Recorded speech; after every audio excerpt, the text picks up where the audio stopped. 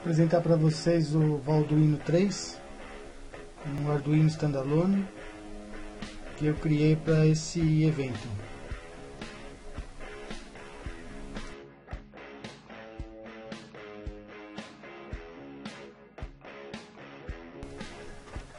Fiz a relação dos componentes que eu utilizei. Uma placa universal 5x10 de boa qualidade para não soltar as trilhas, tá?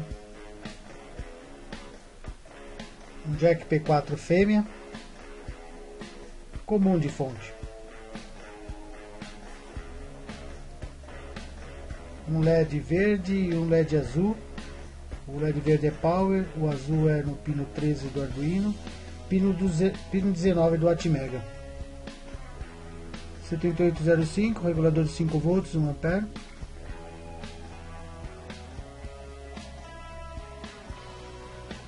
Dois conectores de 14 pino para fazer a ligação pino a pino do Atmega, um soquete de 28 pinos. Eu não tinha, usei dois de 14. A mesma coisa fica perfeito. O Atmega 328 com o bootloader. Se você comprar 100 também é fácil gravar, não tem problema nenhum. Tem alguns vídeos na, a nossa página lá com a forma de gravar. Dois capacitores eletrolíticos. Cristal de 16 mega. Padrão, né? Um botão e os capacitores. Dois de 22 picofards um, e um de 100 nano os resistores de 330 ohms e um resistor de 10k. Eu utilizei um buzzer também, mas depois eu mostro. Valeu.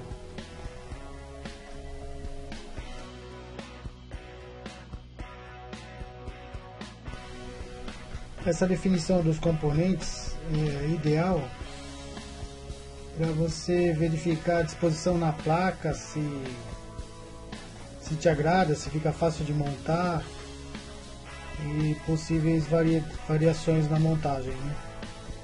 Eu sempre faço isso e fico observando se se está tudo ok. Sempre lembrando que é para fazer um Arduino simples, então não criei nenhum esquema antes de montar, nada disso. Montei direto só. É importante fazer para vocês verificarem inclusive a aparência, se vocês gostam. Né?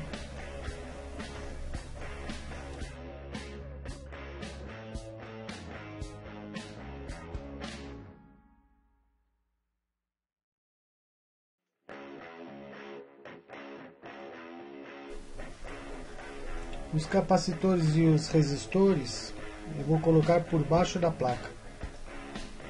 Fica melhor e mais, mais área de montagem.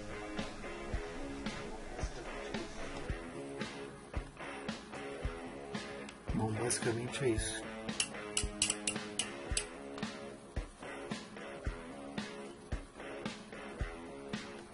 Agora nós vamos começar a soldar.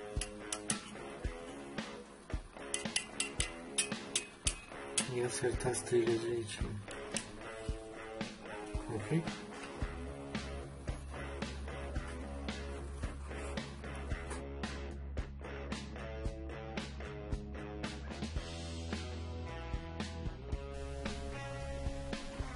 Esse tipo de solda que eu faço é para não utilizar é, nenhum tipo de fio na, na placa. E não tem muito segredo, mais prática mesmo. Você enche a trilha que, que, você vai fazer e depois vai emendando uma na outra. Mas é sem segredo, é pura prática mesmo. É bem, bem simples dominar. No começo talvez você erre um pouco, mas logo depois não tem problema nenhum.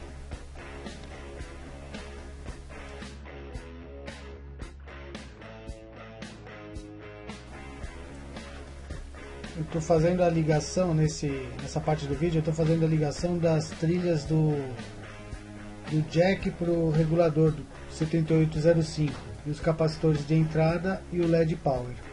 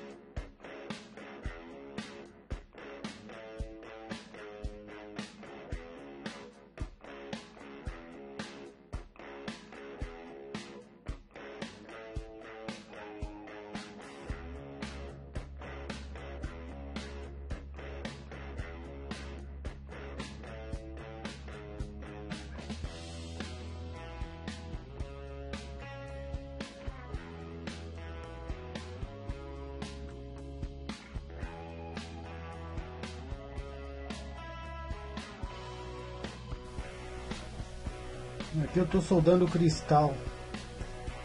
Eu uso a mesmo o mesmo lance de trilha, é, mas não chega no, nos conectores de saída, porque não vai ter utilidade, né?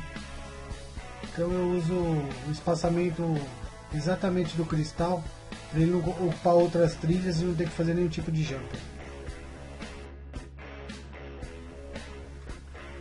Eu esqueci de colocar o resistor do limitador pro LED. Eu estou tirando as soldas, desfazendo a trilha e colocando o resistor por baixo da placa.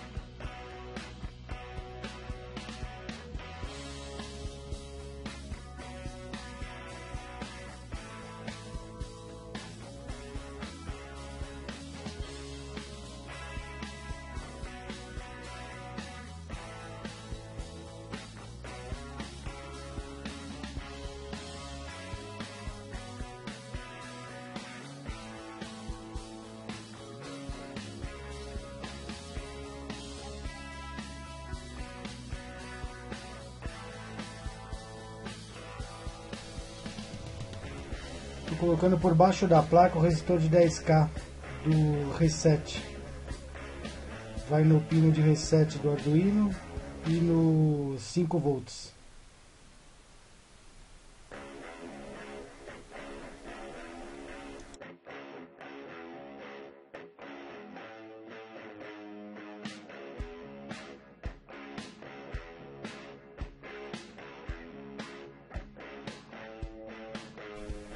Teste básico da fonte.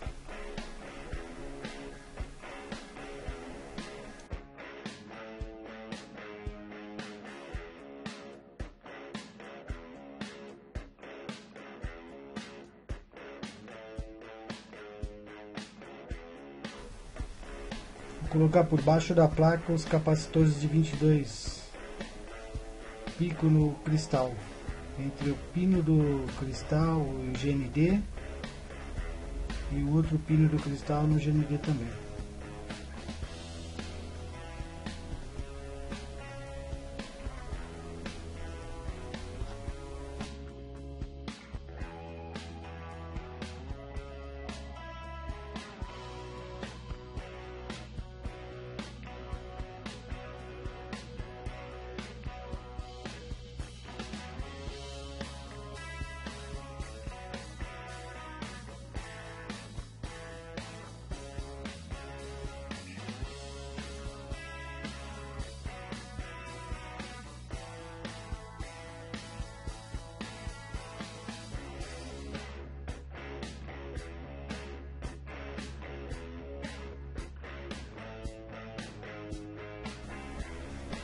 fiz as trilhas do GND, mas eu vou tirar.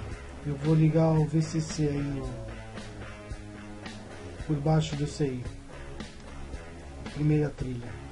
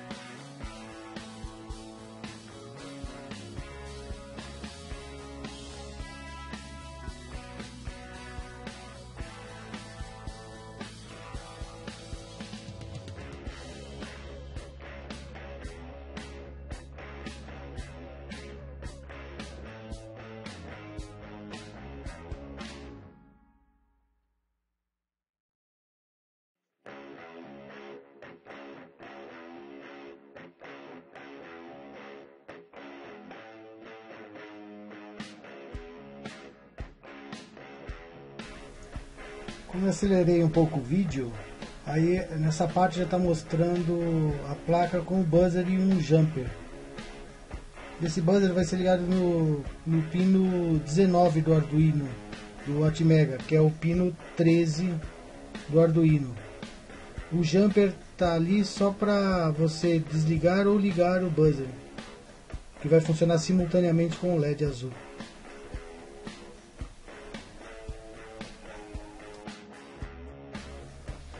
Eu coloquei o buzzer por baixo da placa para não descaracterizar muito o, esse Arduino. Mas é opcional, pode pôr por cima também.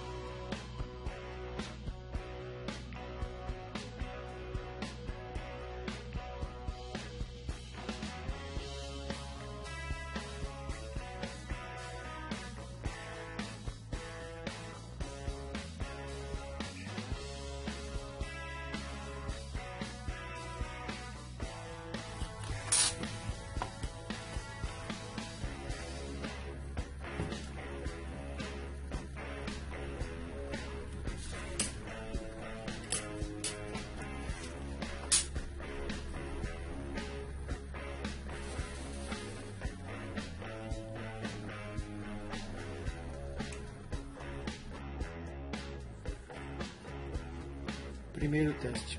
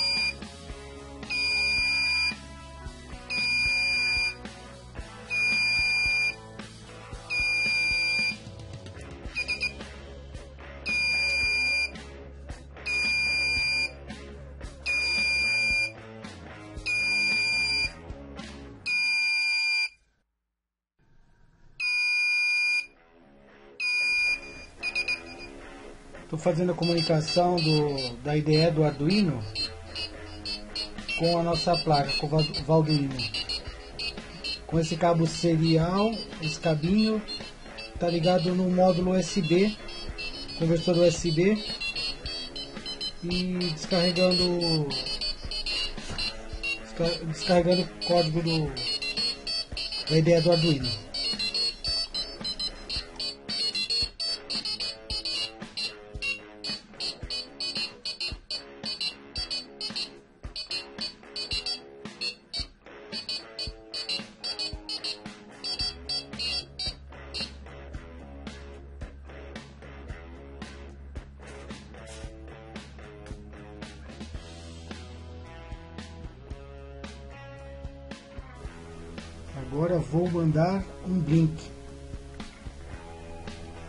Eu tenho que apertar o botão de reset para receber o código, porque eu no meu USB não tenho DTR.